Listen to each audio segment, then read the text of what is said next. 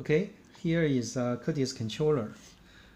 Mode 1228-2901. The Curtis handheld programmer mode 1313-4331. Okay, let's now connect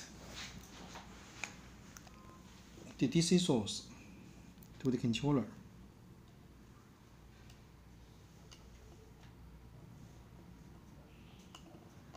Okay, connecting the PC, the portable programmer to the controller. Okay, power on. Activating the programmer. Waiting for a few seconds. It will enter the interface automatically. For saving the controller program, we choose Programming menu, Save, CPF file, Enter, press. Okay. Here is a menu, Save CPF, Enter. The setting of the modules listed below will be stored to a CPF file. Okay. Since we have not inserted a uh, SD card, so we can only use the internal memory. Choosing the, uh, the folder, programs. Okay.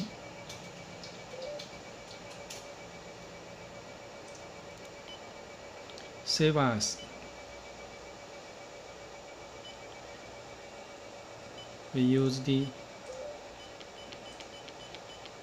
rename the CPU uh, controller program as the number one.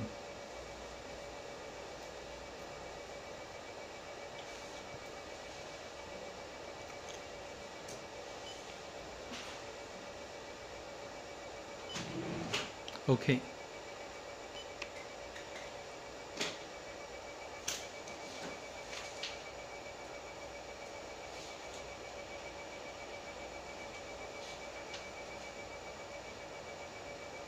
Okay, the program is saved.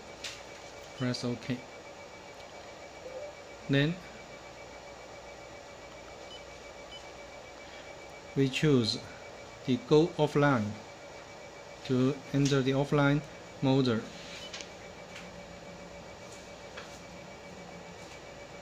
Enter the internal folder to see the program we just saved okay. Open. Okay.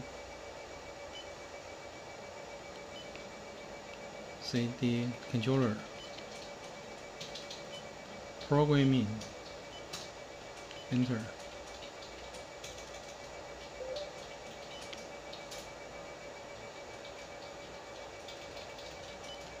File manager